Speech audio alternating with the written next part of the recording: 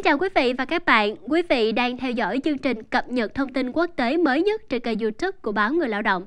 Sau đây sẽ là nội dung chi tiết. Mời quý vị và các bạn đón xem. Nga sẽ trả đũa tàn khốc nếu Mỹ và phương Tây cho phép Ukraine dùng vũ khí tầm xa.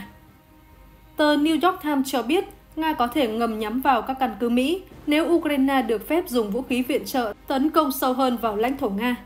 Hôm 26 tháng 9, tờ New York Times đưa tin các cơ quan tình báo Mỹ đã cảnh báo rằng Moscow có thể trả đũa trực tiếp những nước phương Tây cho phép Ukraine sử dụng tên lửa tầm xa để tấn công sâu vào lãnh thổ Nga. Theo đánh giá tình báo được tờ New York Times trích dẫn, các nhà phân tích tin rằng ngay cả khi Ukraine được phép tự do sử dụng tên lửa tầm xa do phương Tây cung cấp, điều đó sẽ không có tác động đáng kể đến cuộc xung đột do số lượng tên lửa có hạn.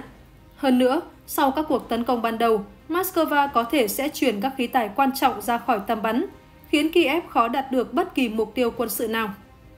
Ngoài ra, quyết định để Ukraine sử dụng tên lửa tầm xa tấn công sâu vào Nga là một canh bạc mang tính rủi ro cao, vì có thể dẫn đến các cuộc trả đũa vào tài sản quân sự của Mỹ trên toàn thế giới. Các cơ quan tình báo Mỹ đánh giá những phản ứng tiềm tàng của Nga có thể bao gồm tăng cường hành động nhằm vào các cơ sở ở châu Âu hoặc tấn công các căn cứ quân sự của Mỹ và châu Âu. Theo các nguồn tin, giới chức Washington tin rằng nếu Moscow quyết định trả đũa, họ có thể sẽ thực hiện điều đó một cách bí mật thay vì công khai để giảm nguy cơ xung đột rộng hơn. Mỹ và các đồng minh đã cung cấp cho Ukraine ba loại hệ thống tên lửa tầm xa, Atac MS do Mỹ sản xuất, Storm Shadow của Anh và tên lửa Scap của Pháp.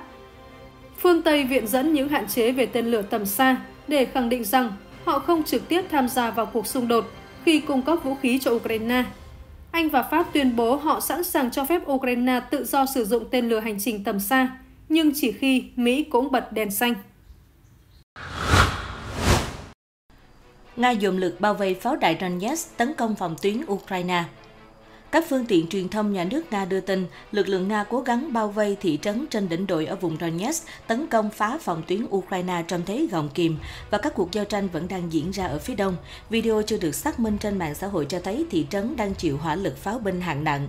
Trong khi đó, lực lượng Nga cũng đã bắt đầu tấn công thị trấn Vuleda, nơi được mệnh danh là thành trì phía đông của Ukraine. Theo các blogger quân sự và phương tiện truyền thông Nga, theo hãng tin Reuters, blogger Yuri Podolyaka và nhiều blogger quân sự thân Nga xác nhận thông tin trên. Blogger Yuri podolyaka viết, các đơn vị Nga đã tiến vào Vuleda, giao tranh trong môi trường đô thị bắt đầu diễn ra. Chuyên gia quân sự Ukraine Ivan Stupak ngày 23 tháng 9 dự đoán trên tờ Moscow Times rằng tốc độ tiến công như hiện nay, Nga có thể kiểm soát hoàn toàn thành trì Vuleda trong vài ngày tới. Ông Stupak nói, tình hình rất khó khăn, Vuleda là thành trì rất kiên cố, nhưng có lẽ đã đến giới hạn, các nỗ lực phòng thủ không còn hiệu quả nữa. Ngày 23 tháng 9, nhóm phân tích Deep State công bố bản đồ cho thấy Nga có thể đã đạt được mục tiêu ở Vuleda, tuyến đường ra vào duy nhất ở phía bắc thị trấn Vuleda đã bị chặn. Thị trấn Vuleda được một số người coi là pháo đài kiên cố do từng trụ vững trước nhiều đợt tấn công của Nga kể từ khi xung đột nổ ra ở Ukraine vào năm 2022. Dữ liệu mở cho thấy vào tháng 8, lực lượng Nga đã tiến quân với tốc độ nhanh nhất trong khoảng 2 năm qua, bất chấp cuộc tấn công của Ukraine vào khu vực Kursk của Nga nhằm buộc Moscow phải chuyển hướng. Mới nhất, Bộ Tổng tham mưu Ukraine ngày 24 tháng 9 cho biết Nga đã có những nỗ lực chiếm giữ các vị trí của Ukraine gần Pavlivka và Voleda, nhưng không cung cấp thông tin chi tiết. Bộ Quốc phòng Nga vẫn chưa đưa ra bình luận về bước đột phá mới. Cũng theo hãng tin Reuters, cuộc tấn công vào đêm 23 tháng 9 của Nga vào khu vực Poltava, miền trung Ukraine gây thiệt hại nhiều cơ sở hạ tầng năng lượng, khiến 20 khu định cư bị mất điện. Trên ứng dụng nhắn tin Telegram, Thống đốc Poltava Philip Ronin nói rằng các mảnh vỡ từ máy bay không người lái rơi xuống làm hư hại một số ngôi nhà nhưng không gây ra thương vong. Các dịch vụ khẩn cấp đang cố gắng giải quyết tình hình mất điện.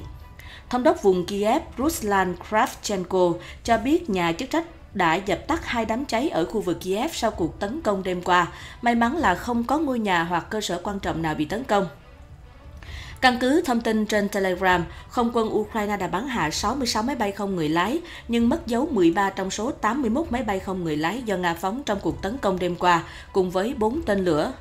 Tổng thống Ukraine Volodymyr Zelensky cho biết những hành động quyết đoán của Mỹ có thể đẩy nhanh việc kết thúc cuộc xung đột tại Ukraine vào năm tới. Đài ABC News vào ngày 24 tháng 9 đưa tin trong một bài đăng trên ứng dụng nhắn tin Telegram sau cuộc gặp một phái đoàn lưỡng đảng từ Quốc hội Mỹ. Ông Zelensky viết, vào cuối năm nay, chúng ta có cơ hội thực sự để tăng cường hợp tác giữa Ukraine và Mỹ. Hành động quyết đoán hiện nay có thể đẩy nhanh việc chấm dứt chiến dịch quân sự của Nga vào năm tới. Trong một cuộc phỏng vấn với đài ABC News, ông Zelensky thúc giục Mỹ và các đối tác khác tiếp tục hỗ trợ Ukraine. Tôi nghĩ rằng chúng ta đang tiến gần đến hòa bình hơn chúng ta nghĩ, chúng ta đang tiến gần đến hồi kết của cuộc xung đột. Chỉ từ một vị thế vững chắc thì Ukraine mới có thể thúc đẩy Nga chấm dứt xung đột. Ông Zelensky nói. Cho đến nay, ông Zelensky vẫn chưa tiết lộ nhiều về kế hoạch chiến thắng của mình, ngoại trừ việc nó sẽ đóng vai trò là cầu nối đến hội nghị thượng đỉnh hòa bình thứ hai do Ukraine dẫn đầu. Kiev muốn tổ chức hội nghị này để ngõ Moscow tham dự vào cuối năm nay. Chánh văn phòng của Tổng thống Ukraine Andriy Yermak cho biết tại New York vào hôm 23 tháng 9 rằng kế hoạch bao gồm đẩy nhanh việc Ukraine gia nhập NATO. Trong khi đó, Tổng thống Nga Vladimir Putin nhấn mạnh các cuộc đàm phán hòa bình chỉ có thể bắt đầu nếu Kiev từ bỏ các vùng đất phía đông và phía nam Ukraine, từ bỏ tham vọng trở thành thành viên NATO. Vào hôm 23 tháng 9, người đứng đầu chính sách đối ngoại của Liên minh châu Âu, Joseph Borrell nói với các phóng viên tại một cuộc họp báo với New York – phương Tây phải tăng viện trợ để ngăn Nga đẩy Ukraine vào bóng tối. Nga đang cố gắng phá hủy cơ sở hạ tầng năng lượng của Ukraine trước mùa đông để khiến nước này chìm trong bóng tối và giá lạnh.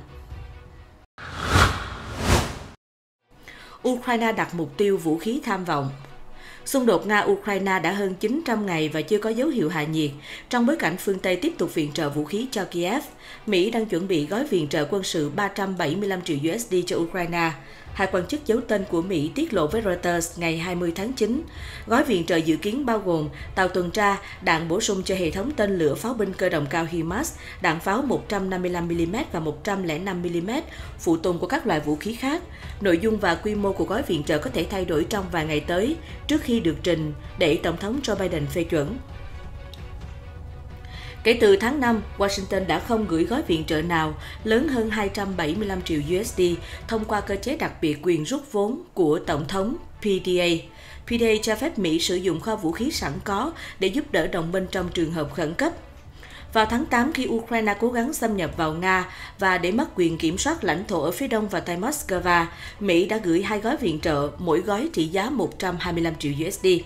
Tại Ý, Bộ trưởng Ngoại giao Antonio Tajani đã thông báo quốc gia của ông sẽ bàn giao bổ sung cho Ukraine một hệ thống tên lửa SAMTI để bảo vệ bệnh viện, trường học và trường đại học. Phiên bản Ý của SAMTI dựa trên xe tải Iveco M320 hoặc ACTL HD8.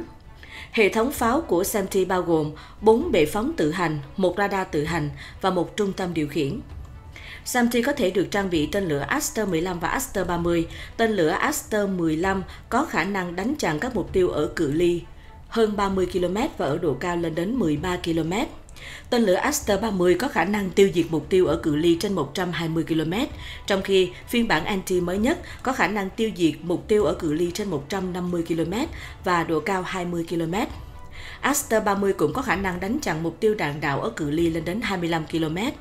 Về phần mình, Tổng thống Volodymyr Zelensky cho biết giới chức cấp cao của Ukraine, bao gồm Bộ trưởng Quốc phòng, Bộ trưởng Ngoại giao và các chỉ huy quân sự hàng đầu, đã đồng ý trong một cuộc thảo luận đầy cảm xúc rằng quốc gia của họ cần gia tăng số lượng cũng như đẩy nhanh tốc độ sản xuất vũ khí trong nước.